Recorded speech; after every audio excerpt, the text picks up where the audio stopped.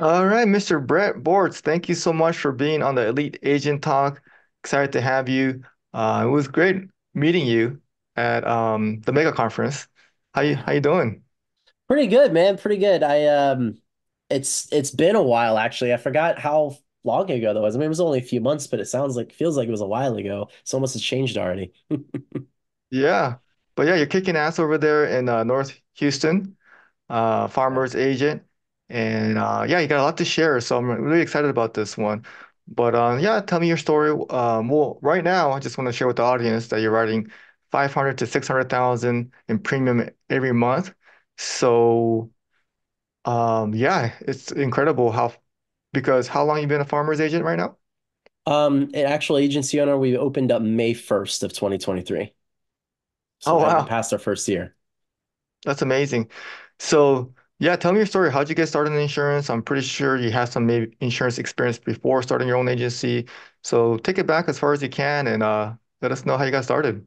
For sure, for sure. Well, first, I want to say thank you for having me. Uh, this is a huge honor, Dan. I've been a huge fan of yours, so this is uh, it's hard not to be a fangirl, right? When you have someone that you look up to and you watch and you hear from all the time. I mean, Dan, if anyone is new, Dan back in the day, man, he was the king. He was the king. He was the man, the number one.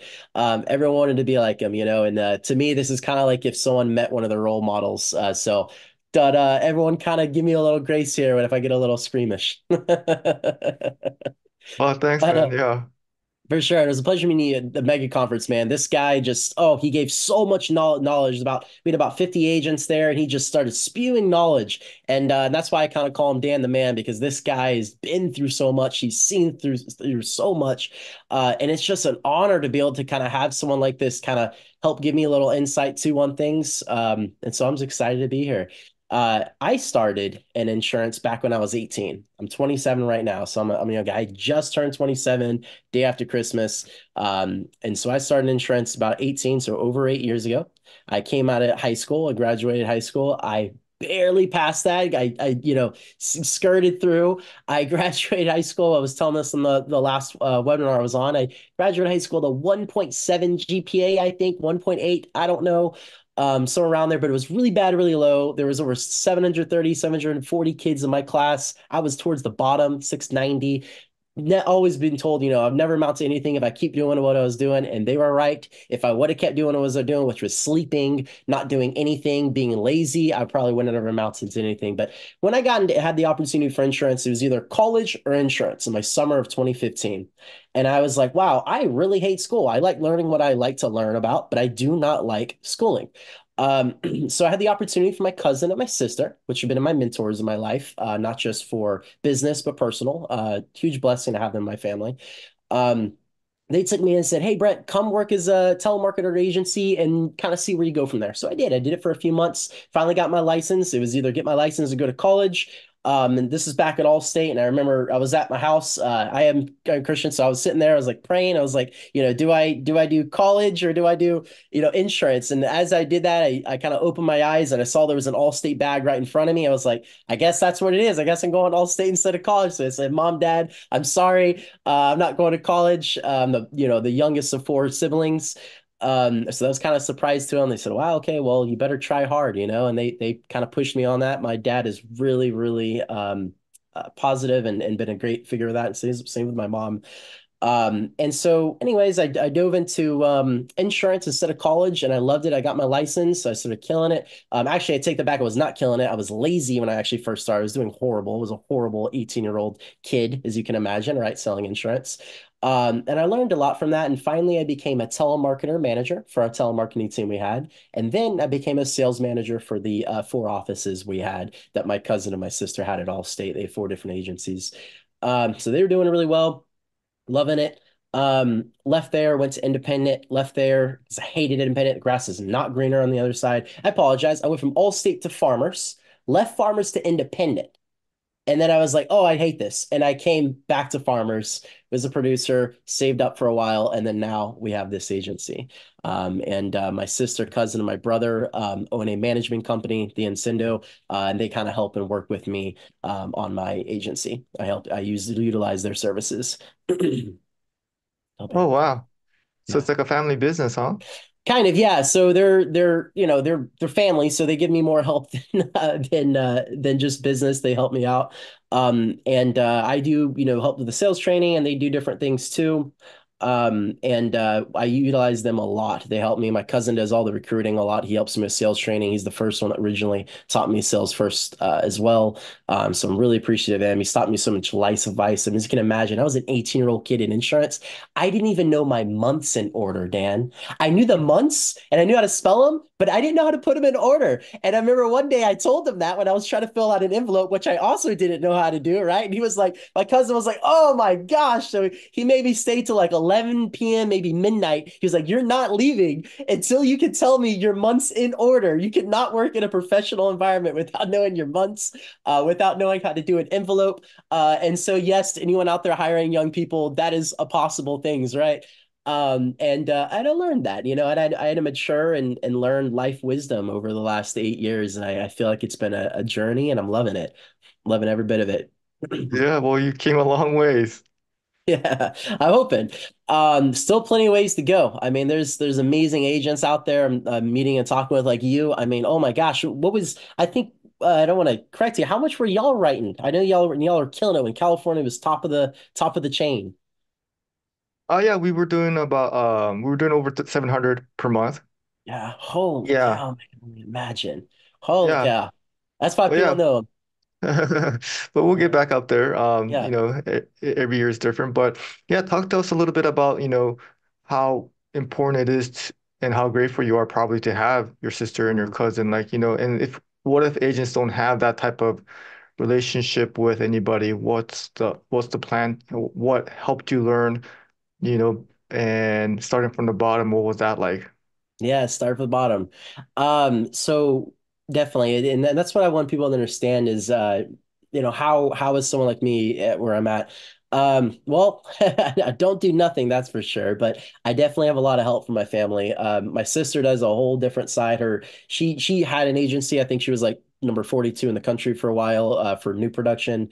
Um, so she sold her agency and she she opened up a management uh, company in Cindo uh, with a brother and cousin and uh, and I was like, hey, I want to open an agency. Let's you know, let's start this off. Maybe one day we'll help other agents, but that's not in our vision right now. Um, but let's start off. Let's figure things out. We each have key things we're good at. You know, I usually do the sales training. I usually do the some of the tech side, some of the um, processes and stuff. Um, and then my sister has the compliance down really hard. She does the servicing. She does a lot of higher level stuff, taking care of anything that's really major or kind of a fire within the agency, so to say. She's amazing and handling that, credible. Um, and uh, she's doing a meeting right now with the other uh, peeps. Um, and then of course my brother has technology background and stuff, and he really helps on that side, so we can help learn processes, uh, develop technologies that help uh, you know push things through. I know a lot of people are using AgencyZoom automation now.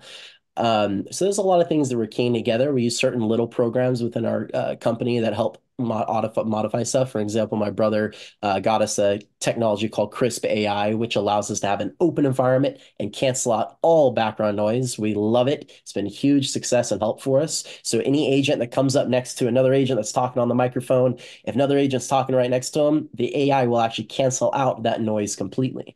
Um, so it's actually super cool. Um, so there's been a lot of little things. I think something that's really led to our success there, Dan, and I try to tell this to a lot of people because they're always like, what's your secret? What's your secret? What's the sauce? You know, I'm like, it's not necessarily one sauce. There's like there's like a thousand different ingredients to that sauce. We do a thousand different little things really, really well that help towards our success. And our team is phenomenal. We just have an amazing team. I mean, how lucky are we to have a team that actually wants to work every day, wants to come in, even likes working on the weekends sometimes.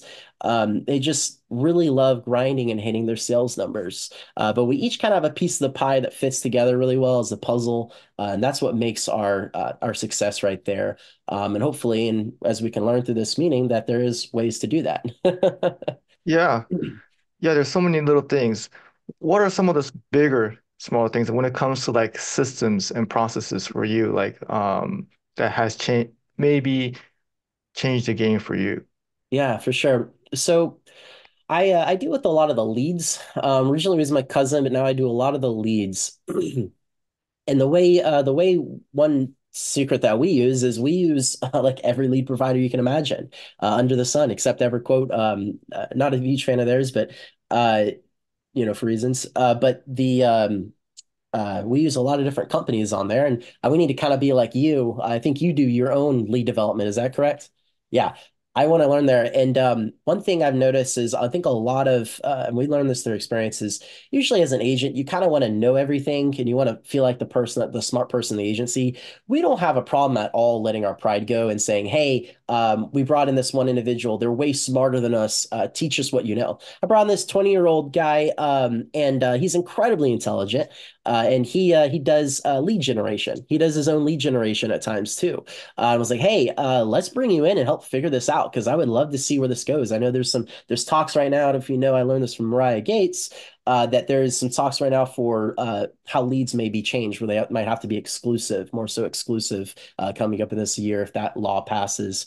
Um, of course, I'm not too smart for all that stuff, but uh, um, I knew I want to be prepared. I know as a business owner, we need to be prepared for possible stuff. We don't ever want to have one source of income, one source of leads. So we do have a lot of things going. We have a marketer to do uh, natural and organic lead gathering um, where the team can kind of pass off their lead sources to that marketer. So if that uh, one thing that's important, by the way, to, uh, for everyone on there is is you may have seen this. If you have a uh, one of your sales producers has five networking partners, if that sales producer leaves, you can't uh, obtain those uh, lead, you know, those networking partners, right? So mm-hmm. with our marketer, if they're the one networking and they stay with us, and happens to be my sister in this case, one of my other sister, I have two sisters um, and uh, she does all the networking. Well, then when the sales producer leaves, that's fine. We still have that that uh, network there, right? Uh, and if she ever leaves too, I'll make sure we're acquainted with those individuals so we can uh, get that warm transfer over to whoever would be taking that new position open. Um, so that uh that has really helped us on uh, keeping leads in different spaces as well. We do live transfers, we do internet leads. Um, automation is very key. You know that's very helpful to help your work day to be more efficient. Uh, so we do love doing all that. Um, what else? We don't do mailers. Um, I know there's some amazing people out there do mailers, and we can learn a thing or two about that, but we don't do mailers. Um, I think my next venture is I want to figure out how to generate my own leads, like Dan over here, uh, and just kill it. And I feel like that's. Uh, I do have a question for. Has that helped you save money for your expenses developing your own lead system? Would you say that actually saved money? Um, you know, saving money, probably not because as you scale, you know, you just spend more. But I would say it has probably helped my producers' job duties or their job description because, you know, what better than a call that's coming in, you know, rather than calling Yeah. out, getting a lot of rejection. So I feel like maybe they have a more sustainable job now a more pleasurable job, a little less rejection because someone's calling in, that's a pretty good buying signal that they're interested. You know, so there's a little, a little less hunting uh, that they have to do. So I think it's more enjoyable job, and it is going to be more expensive though, you know, to generate your own leads. But I think the closing ratio and things like that. So even though maybe the cost per lead is more, but the cost per acquisitions maybe could be better. Yes, I definitely agree with you on that 100%, Dan. And, and I want to say the key thing you just said there uh, that I don't, I don't know if a lot of us agents really realize is if you can make your job, and this is, you kind of hinted at it, if you can make your sales producer's job easier, they're more likely to stay with you longer and they're more likely to love their job and have less issues, less drama, less problems, and they're easier to, to work with essentially and easier to grow with the team. Um, and uh, that's one thing we try to focus. One, we don't we we don't like micromanaging because it takes too much time and energy to micromanage in our agency. It takes way too much time and energy to micromanage. We'll be there to help them and support them. That's our job as leaders to support them and grow and reach what they want to do. Um, but we want to make sure we're bringing leads in. When I started, I got three leads a day. This is common for an agency, right? Get one, three, five leads a day to work. When I started my cousin's agency, I was getting three leads a day. I had to work those leads to the bone, whether it was a $50 a month auto policy or a $5,000 home policy. I had to work that to the bone, right? And try to cross sell and do all these things. And I was working so hard. And what we learned is, man, if we just spend a lot of money on marketing, we don't have to worry about those small $10, $20, $30, $40, $50 a month auto policies. We can say we can we can make the customer work on our time. And that's one thing that's really strong in our sales process. I always tell my new people because a lot of people come from the service world, this this um the retail world or something, right? Uh, love uh, love hiring bartenders, waitresses, waiters.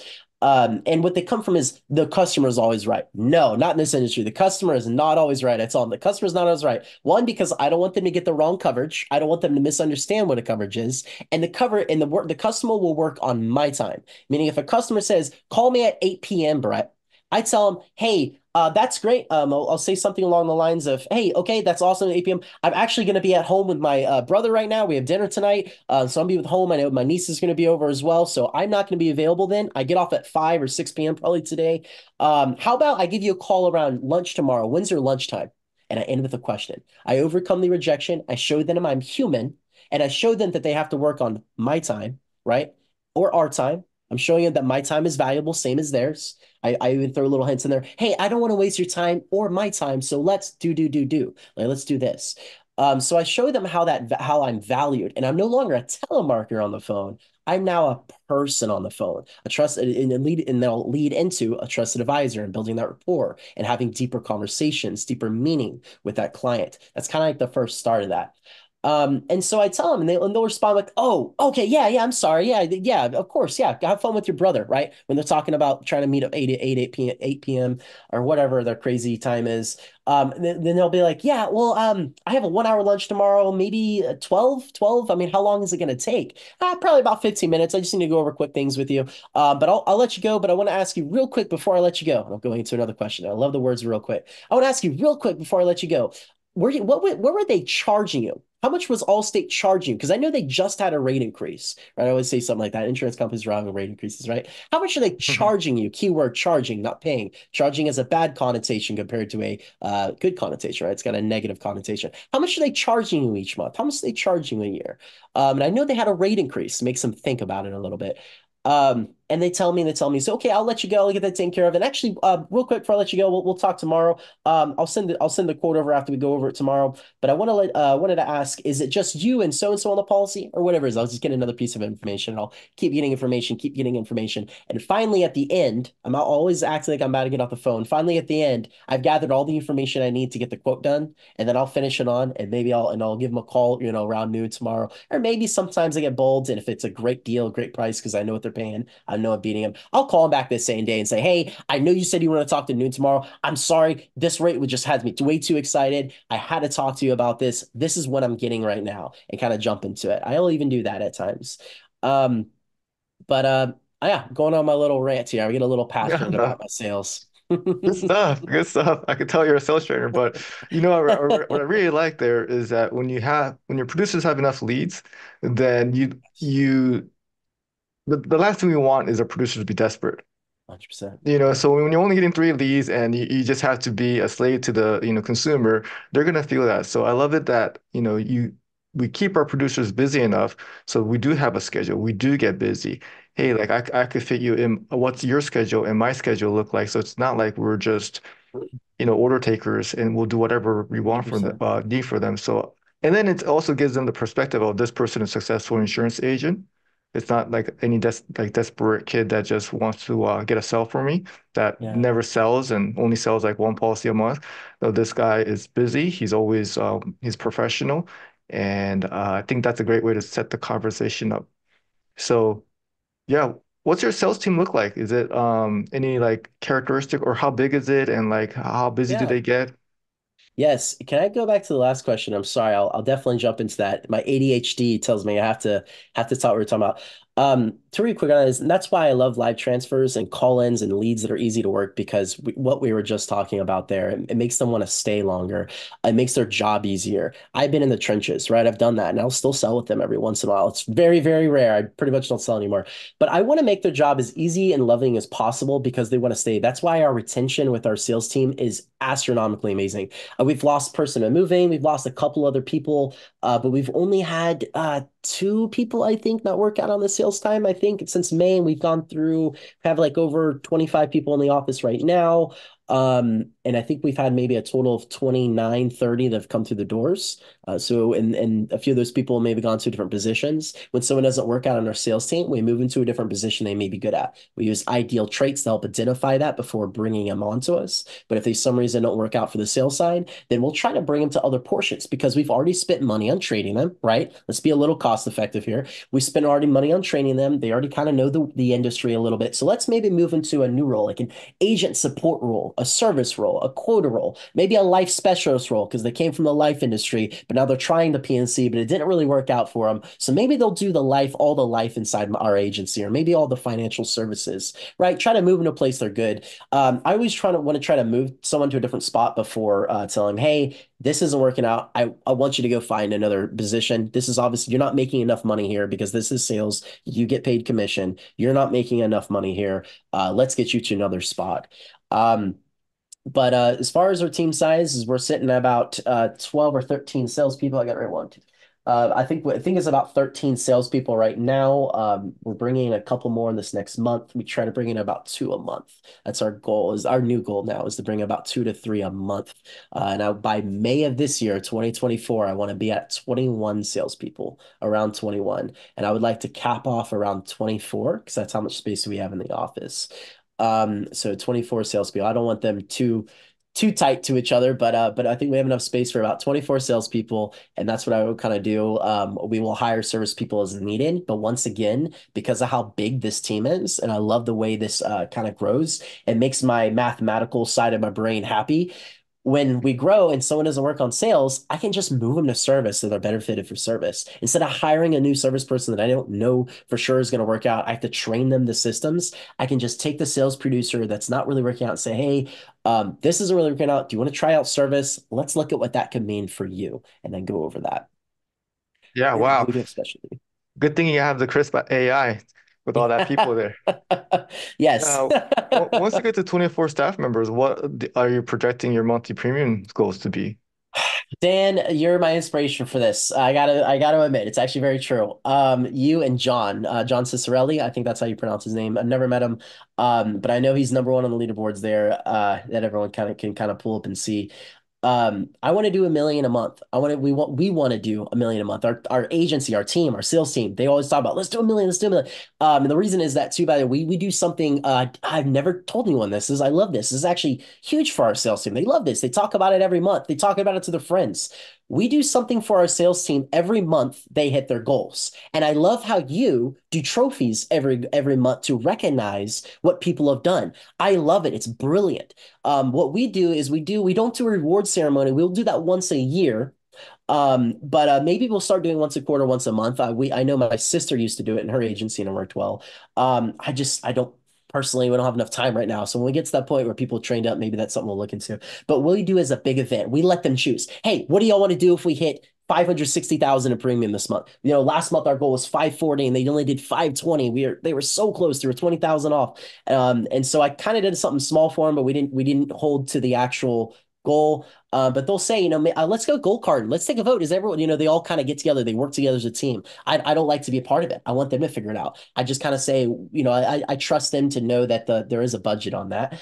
Um, and then go, you know, based on other things we've said, like hibachi grills, you know, uh, Fogo de Chao Brazilian steakhouse, we brought them to bowling with with buffet. Um, and other things that I can't remember right now that we've done. Uh, but we'll let them go. And they're like, oh, maybe let's do golf carts next time. Like, no, I love bowling. Can we do bowling again? They'll kind of figure it out, you know, during a sales meeting or something for a little bit. Um, and let them kind of come together as a family, as a team. And they're like, okay, well, we have to fight 540, right? And then when we have AgencyZoom, so when someone sells something, it pops up and says, hey, this person has sold this, uh, and it emails it to the team. You know what they'll do? The term like, oh, awesome. You know, you hear it in office 20 times a day when there's a sale, right? Oh, yeah, everyone's clapping, cheering. Yeah, let's go. You know, but they're all they're all getting hyped up. Um, and they're like, okay, we only need 20 more thousand in our daily goal, where we only need a hundred thousand in our monthly goal. Who's got a big deal that we can close? You know, they're all trying to motivate each other and hyping in, and that all funnels in with our big key secret ingredient, which is one big bullpen. We don't have individual offices. One big bullpen allows that communication to come up together. If you're in different offices, it's it's easy to have uh, to have malice towards a coworker because you don't see them every day. You don't interact with them every day. You don't see what they struggle through every day. But when you kind of work together as one big bullpen, it allows that struggles and stuff to interact together. They get a vent to each other when they had a tough customer to deal with, right? Um, and I'm totally fine with that. I want them to be able to talk a little bit. They turn around in their chairs all the time. We'll talk to each other. But I know what they, I know I trust them and we, and we, we talk about a lot and we, we go over it a lot is they know they have to hit their sales goal. They have an income they have to make. They have families to feed, right? Um, we have a lot of single mothers and they're killing it right now. I'm looking at our leaderboard. There's a few of them on our top sales producer spots. Um, and, um, and they love talking about their kids. They love talking about things, and that's good. Um, yeah, I, I know, you know, sometimes you can kind of walk in and say, "Hey, what you got working on?" instead of micromanaging and say, "Hey, get back to work." We kind of like we'll kind of walk in there and, and see like, hey, what you working on? What can I help you with? You know, I want to help them reach their goal. It's not me trying to even keep them on track. It's that I know they told me in our one-on-ones, right? They, they have one-on-ones with their sales leaders. I do have sales leaders in the office, sales managers, if you want to call them that. I like I like leaders because managers uh in my personal opinion and from experience, usually like to micromanage has a bad connotation. So sales leaders in an office, they do the one-on-ones and they tell them, this is my goal. This is how much I want to make each month. Okay, well, let's kill it, man. Let's find a way for you to do it. Let's let's do this. Um, so I'll come up to them and say, hey, what you working on? What can I help you do to get there? Do you need more leads? What is? Is there something I can look over? Is there a quote that's stumping you? What can I do for you? If you so I always recommend to agents, if your team is having trouble trouble staying on task, Go up to them and ask them, what can you do for them? Not what they can do for you. Uh, wasn't the president said something along that those lines? Not ask what uh, what what you can do, uh, what America can do for you, but what you can do for America. Um, but uh, yeah, that's kind of what I like. We like to do in our office. Our our sales leaders are meant to support the sales team. Yeah, that sounds like a lot of uh, fun culture too. We're doing something like that ourselves with the life team or or life contest as a team. Awesome. Um, but teams and goals and celebration, those are awesome too. But uh, talk to us a little bit with that much staff members, you know, in sales training, I could tell is your passion. With that big of a team, how do you guys do the sales training? Like, is it Question. through Zoom or you get people in conference rooms or, I mean, it's pretty hard to do in one-on-one. Like, how do you train Yeah. your, these, you know, things that we just talked about, some of these, you know, objections handling, things like that. Yeah, if I can be completely honest, my team members probably would never say this, but um, it's always in the back of my head. I have done uh, not my due diligence to help properly train them as a sales uh, sales leader. Um, and because I keep getting swamped up with agency owner stuff, 100 to 200 emails a day, and all the, the all the unfun stuff that we do every day. Um, and uh, and so I definitely have not hit my mark on properly training them, but I do love working with them, and I wish that's what I could do most of my day is just help them reach their goals and help them train them. Um, but what we do do is we're trying to get on one-on-ones, and Vlad, I think, even does this, and it's a thing I, I love learning from other agents. Um, that's I think that's actually one of our one of our families, because all of us in our family are this way. One of our key um, ingredients to our genetics or something is we're not we don't have enough pride to just say our way is the best way. I'm always willing to learn, and we're always willing to learn from someone else that's doing something better. Um, and um, and I, we always get told role playing and one-on-ones are great. Well, Vlad keeps harping on it, right? And I was like, man, I guess he's right because I don't have enough time to work with my dang team, and I want to work with them. We need to role play better. We have two sales meetings though, to answer your question, Dan. We have a sales meeting in the morning on uh, Friday at 9 a.m. and we have uh, I'm sorry, we have a sales meeting on Friday and Monday at 9 a.m. So Monday and Friday, I just got back from one. Today is Friday. I came all the way home to get a get my studio mic uh to on here and I I said I talked to the team. I was like hey I'm gonna have, I have to I have to do y'all dirty here. I'm leaving. I'm not gonna be here the rest of the day. I'm gonna be at home talking to a huge role model of mine uh and this is a really big uh thing for me. I want to be able to to to, to spend time with him and get some other stuff done that I need to get done today. Um and so uh, they said cool we'll uh, we'll handle the fort. We'll give you a ring or a text if we need something.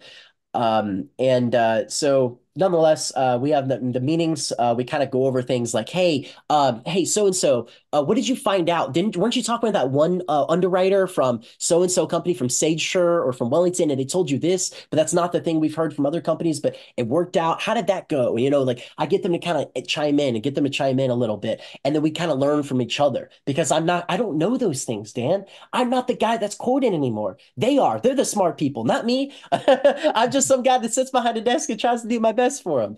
Um, so I like to learn from them. They like to learn from each other, and we'll kind of figure things out. It's like, hey, okay, now I've never taught y'all about flood and none of y'all quote flood. That's a big issue. We're going to find a way to fix that. This is what we're going to do. And then we'll kind of do a flood training or something like we are supposed to do today, but we didn't get to it, and that's fine. We'll get to it next week. Um, and we'll kind of do some training on maybe how proper way to quote a policy because I notice a lot of agents don't like to quote certain things they don't like to quote if it's too time consuming, so they just won't do it. For Texas, it's flood insurance. Agents are just not asking for flood insurance, which is a massive thing in Texas. Hurricane Harvey, for any of my Texas agents out there, you know how that was. If you're if you're an agent, either farmers or whatever, 2017 was horrible. Answering those calls from customers saying, "Hey, I don't have flood insurance. My home flooded." It was horrible phone calls. Um, and uh, so we're need to try to get into the lean into the flood insurance. So I built in a quoter, a specialist that will do their flood quotes for them or all their quotes they don't want to do. That's the point of my quota right now hmm. is that I noticed I, I don't try to fit a, what is it, a round or a square peg in a round hole. I find out what is going to work with them. Um, I've tried over eight years trying to force people to, to agree to one thing, do it this way, do it this way. And they always give pushback. And it's like, why do y'all give me pushback? I know I'm right, right? That's what we think. And it's like, okay, I don't I don't want to have the mental stress on. Let's just find a way to adapt this to how they want to do it, but also get the same results that we need. So I bring in a quoter. Um, the quoter didn't work out at first because he's doing all the quotes that they want to do. And what I learned from that is that I need to now have a quote. I was wrong about how I presented that that model to them, and I was warned by another agent as well that my that I was going to fail in that regard, and I did. Um, and so what I learned was the quoter can do the quotes that they don't want to do. Flood quotes. My team doesn't like to do Kraft Lake. They don't like to sell Kraft Lake because they don't get paid as much as Kraft Lake. Rightfully so. We get paid a lot more on farmers. We love selling farmers. So they don't like doing Kraft Lake quotes. So then he'll come in and do some Kraft Lake quotes for them when they have a customer that got rejected from farmers. And instead of just moving on to the next customer because it's good premium, you know, he can do the Kraft Lake quote for him, give him to the sales agent and then they can present it and sell the policy. So he's his hmm. job is to save them time where they don't want to spend time. Um, and that's where I've been able to, to integrate that because I know a lot of people have quoters and it was a battle to figure out how to make that effective because I know you can think about it logically. If you're the quoter's paying being paid less than the sales producer and they can do the same task as the sales producer, the miscellaneous tasks, well then let's find a way to make that work. Um, and uh, that's kind of what we're on the journey of right now. We have other roles and stuff that kind of help the sales team fuel up and hit their 50, 60, 70, 80, 90, 100,000 premiums. Um, and uh, and so yeah, we're we're kind of looking at those things this year. That's awesome, man. It's amazing how at your age you have such a good understanding of the business, you know, and I think at that age also what stands out to me is that you know, if you got get off to a hot start, you know, you're gonna be very um confident, right, rightfully so, but you just have the right attitude when it comes to managing your team already, which I wish I had at your age, you know. Like you're you're you're here to help them out. And these things that you're thinking of of how to of these small improvements you're making for your agency is all because your intent is to help them out. And I think it all starts from there. So the humility you have with the success you have at this age is something that shows that, man, you're going to be one bright star, you know, moving on forward. That's awesome, dude. Oh man, I, I appreciate that, Dan. And I, uh, this is so cliche to say this. It's it's not really not me. It's my team and it's my family. Uh, that we really just come together. We work together really well. Um, if I'm if I'm gonna say anything about it about me on that, it's I'm good at finding uh, finding a way to work with people. Um, and uh, and so that allows me to kind of find and, and, work together with people. But uh, man, I'm I'm just uh, I'm blessed. I'm blessed to have an amazing family, an amazing team. Um, and uh, we keep trying hard. Uh, I'm I am a single guy, so one advantage I have that I know not all agents will have is I can work the weekends. Um, I'm I uh, when we first did this first three months, I was working seven days a week on this. Uh, now I'm only really working five days a week. I maybe work every other Saturday and do some numbers or calculations. I'm a huge math nerd. I love figuring out our expenses, our co- you know our ROIs, our you know our percentage of close ratios here, this all that fun stuff. I like figuring all that out. I'll do that like on a Saturday. Saturday. And I recommend to anyone if you can find two to three to four hours on a Saturday or Sunday and just find out what your ROI is for the lead sources, to find out what your close ratio on those lead sources are that actually starts massively uh, over time, not immediately, over time, gives you a huge increase and boosting towards your sales. Um, and uh, I also love reading contracts. So I find bonuses and stuff that uh, you never hear about all the time within our contracts. Um, and I love doing that at Allstate as well. So I, I do love reading through those contracts and looking at every bonus that Farmers throws out. I'm on it. I'm in my I remember my DMA. I want it. How do I get this bonus? Let's figure this out. I want this bonus. I want money. I want money. It's free money on the table. I want it. I'm gonna grab it. I'm gonna reel it in. So I want to find a way to to do that and find a way to motivate my team to push that as well. Yeah. definitely, definitely, I can feel the energy, man. Definitely, you, you, you definitely have have that. Wow. Yeah. Good stuff. I think everyone says I might be a little too uh too energetic. Um, but uh I do know one thing I like, uh, Dan, it's talking. I do like to talk people's ear off. So Well, well, talking is important too, but also looking at data and reading contracts and stuff like that. That's the technical part of it, you know. Sometimes yeah. people have like the real like social part, great at talking to people, but the technical part, you know, sometimes people like looking at data but don't really like Yeah. talking to people. So you have a good combination there. What what type of um data, if you don't mind getting into that part a little bit deeper, Yeah. has has been a game change has been a game changer for you? Like that you figured Yeah. this out and this was something that, you know, or anything, you know, at this point, I'm just like, what, what is there something you feel like, okay, would help me out? Yes. Um, now, gosh, oh man, that's a that's a tough question, Dan, when you're years, light years ahead of me. Um, but uh right on the spot, I will tell you what has helped uh me out, and I hope this matters. Um, and I don't think, and I think people are like, yeah, that's kind of important. I actually track all of our expenses. Um, now it doesn't mean I'm tracking all of it. I just have when someone uh, takes an expense or something, I make sure to write down. I have a little ongoing little notepad here. I have a lot of data here that tells us close ratios. Look how far this is going. Close ratios, our expenses, all that fun stuff. Um, and I kind of keep track of that on my phone and the computer. Um, I love tracking our close ratios. So, Mhm. as you know, Kraft pays less than farmers, right? So logically, you would want to sell more farmers premium. Um, I figure out the ratio of what we're selling in Kraft Lake and farmers, and then what agents are selling more Kraft Lake than farmers than the average. So the average in the state is about 68%. Uh, for, I'm sorry, farmers is about 65 to 68% in the state of Texas. The last time I checked, I could be wrong for data people out there. I could be wrong now. Um, we're we're at 68% farmers, and I would love to get that number higher. So I have agents that average about 75 to 90% farmers, and then I have agents that average only 60% farmers. So why is it that agents selling about the same premium, 50, 50,000, 40,000, 60,000 premium together? Um, why is it that these have more farmers than these people? So let's let's actually dig into the small details and things. The thing I am I will say that I'm not good at a lot of things, Dan. One thing I think I am good at is finding small details that add up on top of each other to create the bigger details, um, the bigger picture. And so I like to dig in and figure out, work with my sales producers, tell my leads teamers, say, hey, uh, this we have this person right here at 60% farmers. They can make more money if they start selling more farmers. We need to find a way to help them do that. Um, we need to stop selling Lake as much as we can, you know. So like, wh why are they not trying to find a way uh, to get the uh, home approved because they got rejected over something really dumb? Maybe we can just call underwriting and work with underwriting, see if we can get that approved. So there's there's sometimes little hiccups right there. People are giving up kind of too easy, maybe sometimes. Uh, not to say they're not trying, but maybe they don't even know the uh, way to overcome some of those obstacles. So then we'll we'll kind of dig into that. But numbers can kind of help tell you and show you that there's a problem somewhere. If these people are doing this, but these people are not, well, it's a consistent measure. So let, let's let's find a way to to get them back up to this par with these other people. So we want to sell more farmers because that brings them more money to the agency, which means the team will make more money because that's how we operate as, as all agencies. Um, now, I like to keep track of those expenses. This helps me track of um, how to pay compensation. So I we change our compensation plan every year.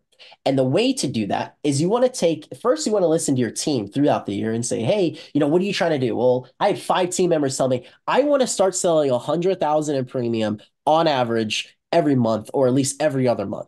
And I'm like, that is an insane goal eight years ago when I was an agent selling 18,000 in premium, I thought that would be baloney. I would never think that's possible. But rates are going up now. So let's do it. Let's get our our our uh, our pay raises because rate increases keep going up, right? Um, so I look at expenses and I, I, compile it all together. I take our average sales producer, I divide it by that number, and that tells you how much the average sales producers cost. For right now, for ours, it's about $7,600. So if I know my average producer that I bring in is going to cost me $7,600, which is on the high end, most agencies are going to be a lot lower than that. They're going to be closer to about 4,200, I think, uh, to about 5,000 something um, for average cost per producer. Um, there's a lot of expenses, including like leads and right? yes, everything. Mm-hmm. So I'm like, I'll, I'll lead you off some right now. I have 40 something 50 something expenses on here. Um, retention cards that go out to customers for retention like birthday cards travel expenses if we have to do travel expenses as a as an agency um, automation we have to pay for um, snacks that we have in the office appointments um, uh, setting up appointments when you when you get someone into your system you have to pay $10 per appointment right? You got to pay $50 for the background check. You got staff licensings that we reimburse AC maintenance because you got to maintenance the AC in our rental building uh, bank fees that we have to pay for ad comp that farmers charges the 135 they were charging business cards for my sales producers, birthday food, drinking water, office materials, systems that were used, DCS, AgencyZoom, DYL, referrals, leads, MVR reports, $110 per person on average, by the way. If someone's out of that that category, then I know something's going wrong. We can retrain. Someone that had $800 a month on average MVR pools, they're probably pulling MVR every single time, which isn't needed all the time if you do proper training on that. So let's see what's going on there. Let's get you down to the average of 110. And then that way allows us to do something more for the agency. Now, I don't, um, the way I operate is if we save money, I want to find a way to give it back to the team. I, I don't need, I'm a minimalist. I don't really care about objects. Um, I I live off three thousand to two thousand dollars a month. Um, so I, I know I'm single, I know I'm young, so I, I am minimalist though, and I, I don't I don't care for things. So I want to try to find a way to pump it back into my uh, team if I can. Um, uh, hiring costs, all these things. I mean, those are just what 20 of my, I think there's actually 60 or 70 uh, expenses on it. It's a lot.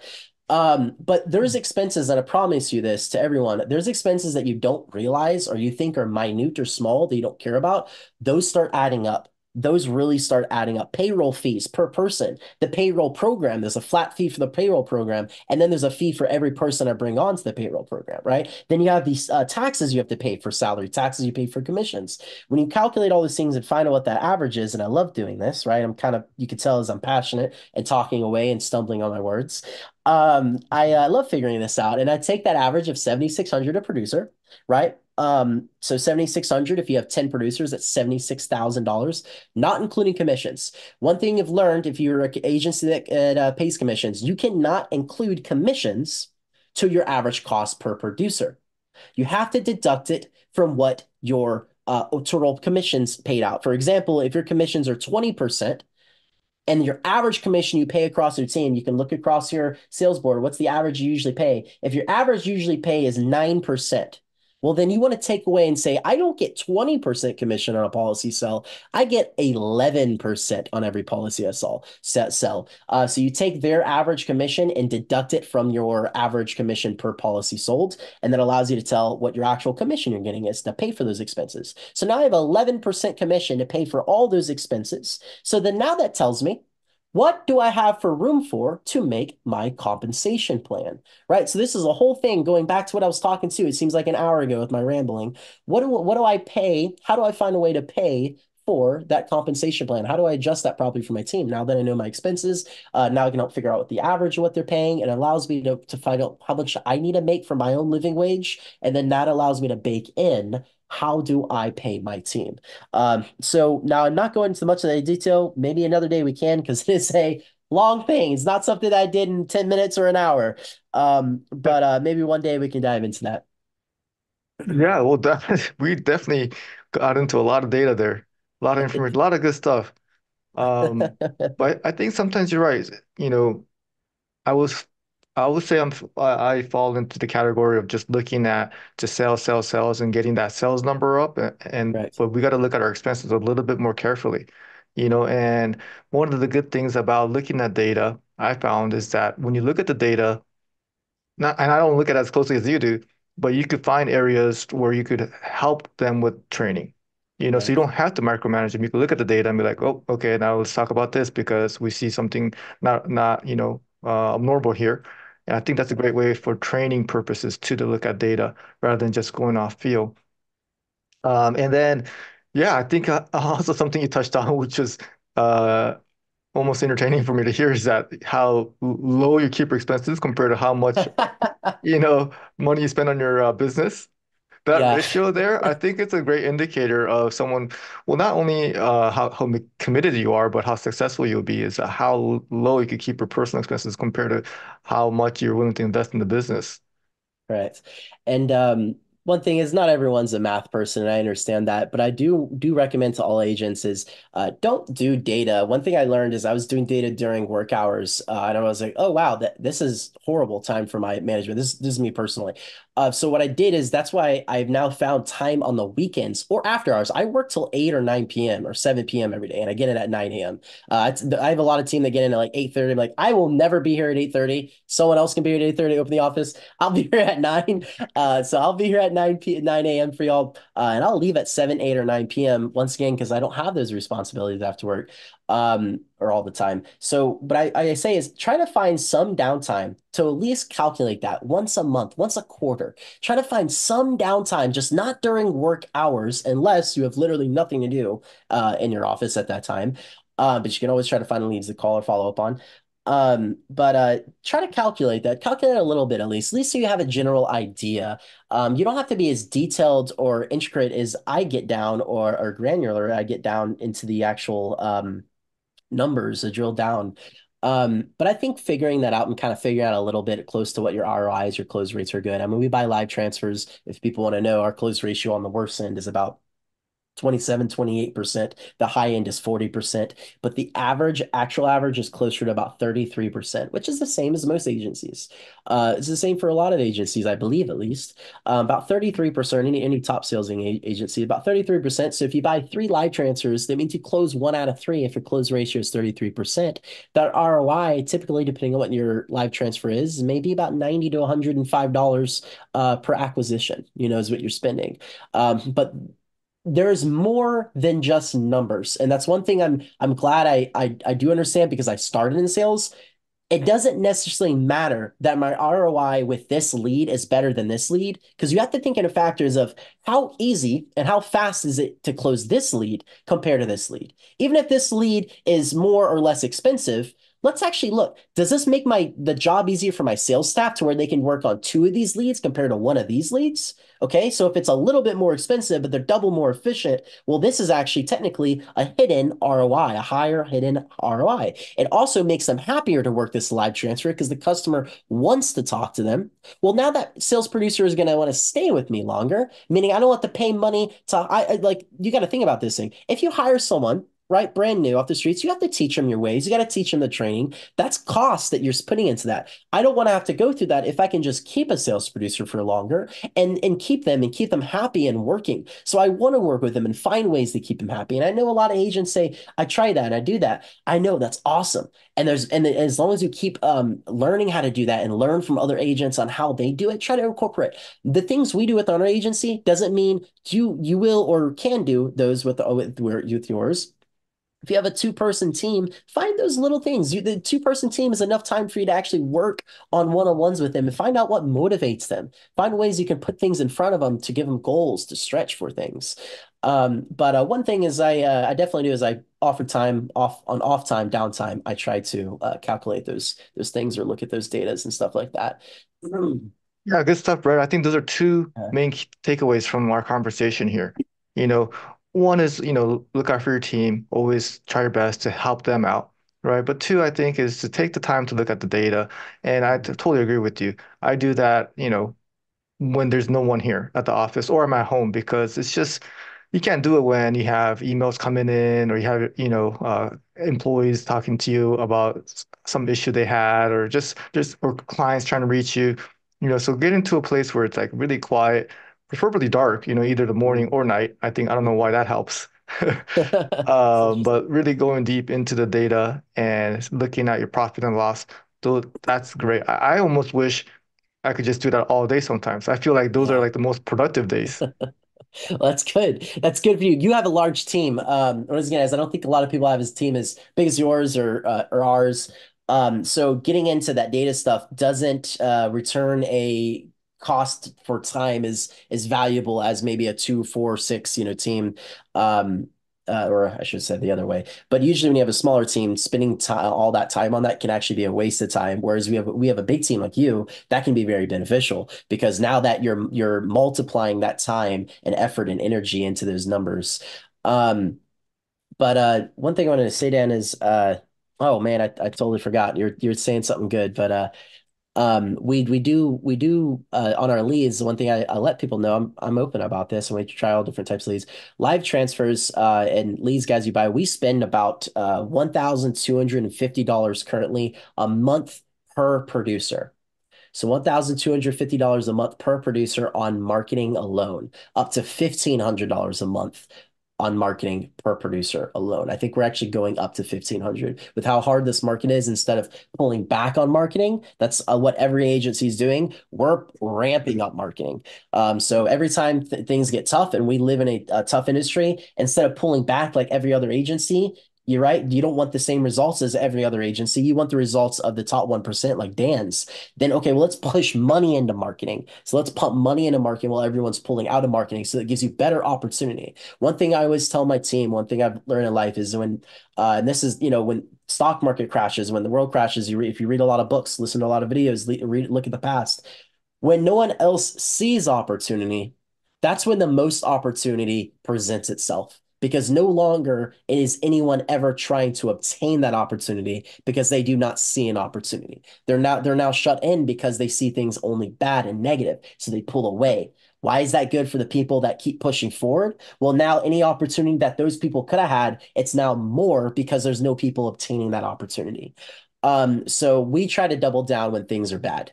Uh, that's why we're hiring. We're still hiring. We're pushing. We're even pushing hiring for harder than we were before. We're pushing marketing even harder than we were before. Well, everyone is pulling away. Everyone's getting out of the industry right now. I mean, this is not not you know unknown knowledge. People are selling the books left and right. People are getting out of the industry. Um, I think it's a great time to buy books right now. Personally, I'm not saying you should, but I'm just saying I, I would love to buy a book right now if I could. I can't, still too new, um, or I'm not willing to to uh, jeopardize my contract on that.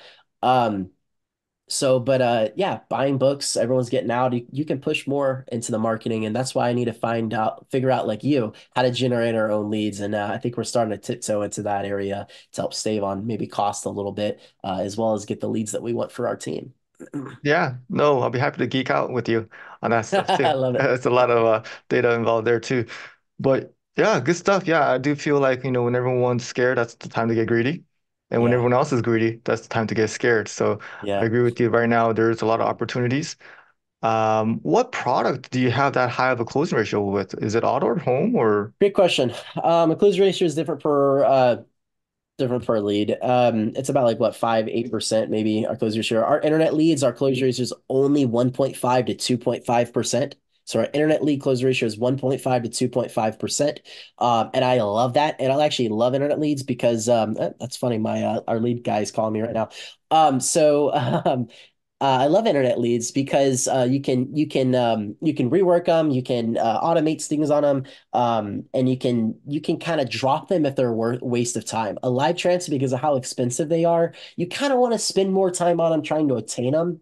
But on uh, internet lead, if it's just a, not a great lead, I tell my team, don't waste your time on a fifty dollar a month auto. If that person is not going to give you all the information and and and them see that you're the one helping them and not the other way around, don't waste time on the person. Just tell them, hey, uh, you're paying $80 a month.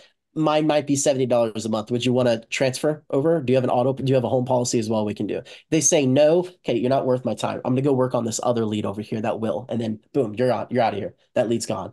Um, I tell them to. It's all right. I, I want them to spend time on the leads that actually make them money because that makes me money. It makes us money. Um, so I, I'm fine with them getting rid of these not so great leads, these low paying customers. Low paying customers always have the most problems, right? What do they say? A, the 80 20 rule, right? 80% of your problems come from 20% of your customers. 80% of your profit comes from 20% of your customers. Um, and uh, those are always full little statistics and things I like to look into. But um, Yeah, just don't don't spend so much time. I think Vlad even preaches it too, and I'm so glad he does because no other agent really preaches this. Don't make your team call a $50, $100 a month lead, you know, and I'm sorry, I know rates are different in other in uh, different states, but it's a factor, you know, Allstate or that's not Allstate, Texas, all auto policies like 250, 300, $400 a month you know, uh, towards the, the middle end there. So $50 a month is nothing. That's not worth our time. Um, for other states, it might be 10, 20, $30 a month auto policies are not worth your time. Um, so just kind of identify that and don't force your team to call those people 10 or 20 times. Let them work it. It doesn't mean the second someone tells them what price they are, they don't they don't just throw it away. They say, okay, now I'm at the point of I'm going to give this customer five or 10 minutes. Now I now know what they're paying because I'm going to ask that towards the front end. I'm now, now I'm now not going to spend a ton of time on this customer. So if this customer doesn't give me the pay information and go over the coverage really fast, they're not really going to worth my time. I'm going to throw it over to them, what I have. If they want to do something with it, if they want to chase me for the quote, then good. But I'm going to work on these people now while they can chase me. If they chase me, then I know they're interested. I know they're willing to buy. But if, if they're just looky loose, right? I think Jordan Belfort says if they're just looky loose, um, they, I know they're not worth my time. Um, right? You got you got your people that are buyers. I think Jordan Belfort calls them buyers in heat. People that are ready to buy, ready to go, and you have your looky loose people that just kind of want to quote, see what's out there, you know, but they're not fully interested. And you you want to identify what type of those people are, and that takes time and experience. And you want to get those people out of your pipeline as fast as possible. Maybe follow up with them later, um, and just kind of shoot it over to them. Move on to the people that are your your people that are you can potentially sell at that time. Yeah, I think that strategy is really important when it comes to writing the bigger premium, you know, and writing that much premium per month because it's about the same amount of work. It's just Yeah. It is the same amount of work. Yeah, it's yeah, exactly what you said right there. You nailed it. Uh, why would I spend an hour doing a $50 a month auto when I can spend an hour doing a $200 a month auto, $300 a month auto, or a $5,000 home policy that you sometimes run into, you know? Um, so it's definitely time efficiency. Uh, that's very, very big, uh, and making your team as, as efficient as possible. Because I know we're always trying to make ourselves efficient. I actually try to find ways to make my team efficient because of how big our team is, it's a better return for me. I try to find ways to make their lives efficient more than I try to find a way to make my life efficient. Uh, but I still do. I still find ways to make my life efficient. But most of my thinking is spent on how do I make their life easier and more efficient than mine. Um, and I think that is what helps factor once again to our retention of our sales producers. They love sticking around. They love working with us. Um, I'm, I'm to complete completely transparent. Two of my producers have gotten offers with way higher pay um, that I'm like I have no idea how that agency's paying it. It's a new agency though, so maybe they're gonna have a rude awakening of what they can actually pay to their staff.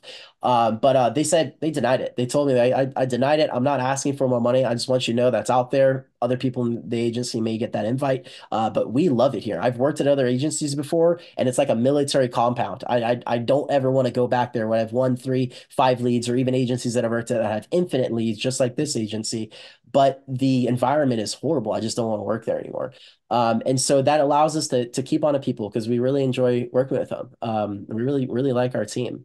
Uh, and I tell people if they're not working on sales, I tell them let's find you a different job somewhere. Like if if you don't want to do insurance at all and don't want to be a part of it, like let's find you find something else. Like you're not going to offend me.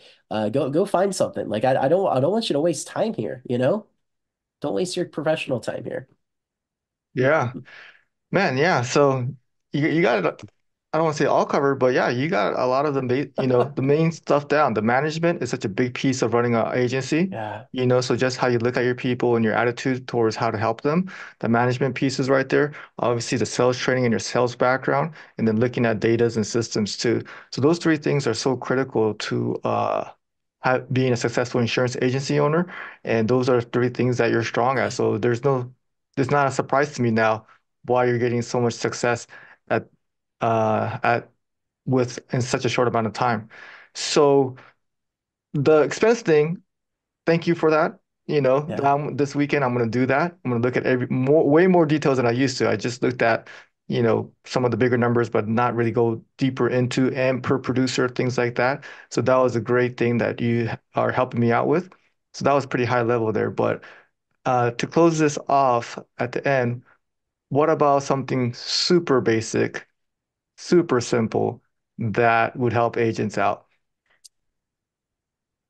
actually work with your lead providers. If you're a lead providing comp agency, um, actually work with your lead providers uh, and, and and try to and don't just call one lead company, call all of them and work with all of them and see which ones are willing to give you the better deals. Uh, don't go with the company that's going to make you pay 13 $15 per lead. Uh, that that's just outrageous. The more you buy, the more you the cheaper you can get on a price. Uh, I think that's common knowledge to anyone. Um, so just actually uh, try to work with your lead providers and treat them well. They will sometimes give you rewards, some type of kind of promotion. I've gotten promotional offers because the people they like working with me, uh, they'll pilot programs with me because the amount of leads we buy. Um, so I uh, I do recommend that if you are a lead purchasing agency, um, actually try to work with your lead providers um, and be nice to them, and they they will return that favor. Uh, but I would I would say um, just try to find a way to simplify everything in your agency the best you can. Yeah. Well, without leads, nothing gets started. So um, I I love it that you, you talked about that as the most simplest thing that we need to focus on is the leads. How much are they going to be? How are you going to get them? What quality are? So focusing on that, working with the lead providers as your partner, I think that's great advice because again, if you don't have a lead, you don't have a conversation, and you don't have sales, you don't have an agency. So all great stuff, Brett. I mean, uh, we had a fire conversation. You packed so much stuff into this hour. Oh no, I It think you did. I talked too uh much. no no you, that's that's what you know these are for for you to share you know what you know and you did it and it was entertaining at the same time. I'm not sure if you I, tried to do that on purpose, but Oh no, I hope so. I hope so. I uh, I think a lot of people don't think I'm entertaining usually. Um, wow, Dan, it's been a pleasure. I, I can't tell you how much of an honor to be on here, and, and you flatter me, all these compliments. Um, and uh, it's hard not to to feel good about that. Um, because man, I, I just once again I've watched your videos for so long, uh, and it's like wow. I I hope one day I could be up on there, and here I am. I'm that one day. So uh, this is my what are they called the the five five minutes of fame.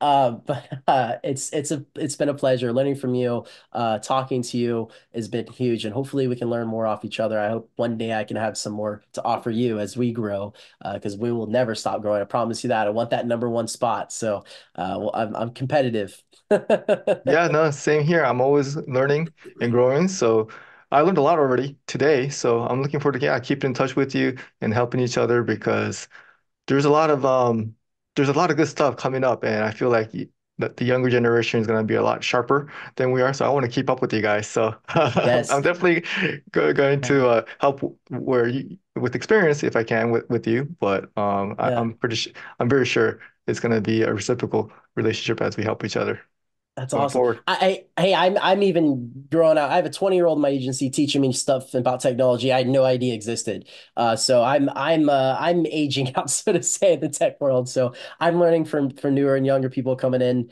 um, which is awesome. But hopefully, maybe next time we can go over to a even higher level of stuff that we do in our agency. Um, I uh, I didn't know necessarily exactly what we wanted to touch on today. For anyone that knows, we had no idea what we were going to talk about. We said, "Hey, me and Dan was like, let's let's just talk about things." We've never been on a phone call before together. Let's just figure out some stuff. We just started talking about stuff in this this meeting. So maybe next time we can do a higher level stuff, and I'm I'm more than welcome to um more than fine with going over some of our higher level stuff uh, that we do implement or we think about within our agency Awesome, Brett. No, thank you so much for your willingness to share, man. I think that's sure. great because, you know, um, that's something I believe in, and that's the whole reason I have this, you know, conversation for the agents is so we could learn from each other. So you're so willing to share everything you know, what has helped you, and I think uh, that's gonna come back to you. So I know you're just getting started, but man, you got one bright future.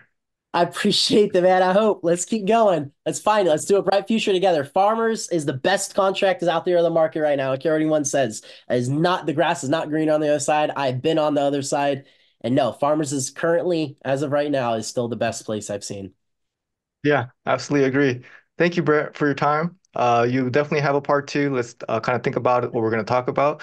We'll go even deeper in, um, you know, uh, your knowledge. So looking forward to that, Brett, and uh, we'll be in touch, man. Awesome. Sounds good. I feel like I made it past the first interview, right? Now I got to make it to the second interview. No, you, you definitely will. I'm looking forward to it. I appreciate it, Dan. Thank you very much. Y'all have a good one, All right. guys. Take care.